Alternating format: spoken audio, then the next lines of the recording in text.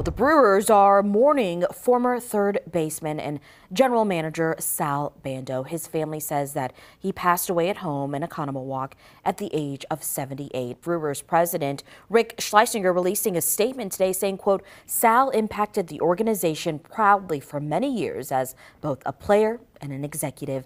His addition to the team in 1977 helped establish the first great era of Brewers baseball. We'll have more on Bando's career later in sports. And